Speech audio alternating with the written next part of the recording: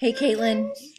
Um, what I want you to do is I want you to make a new folder in your Google Drive. So go up to New, hit Folder, um, just name it Classroom Management, whatever, and create it. Um, then what I want you to do is uh, you should have your drawing and your um, plan, whether that's Google Slides or Google document.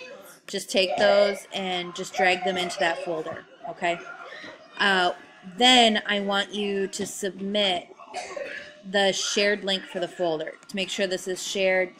Um, make sure the folder is highlighted. You can see right now there's nothing on the folder. It's just gray, solid gray. Get shareable link. Make sure that link sharing is on. Um, don't do it with Indiana University.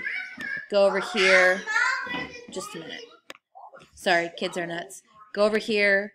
Um, anyone at Uni Indiana University, go down here, hit more. Hey, shh. Okay, I'm sorry. Um, and just put anyone with the link. Save.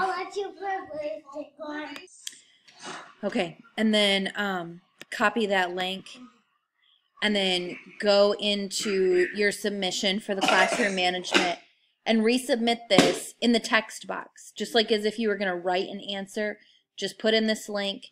I'll be able to follow that, and I'll be able to see um, your classroom management plan and the illustration that you're trying to show me.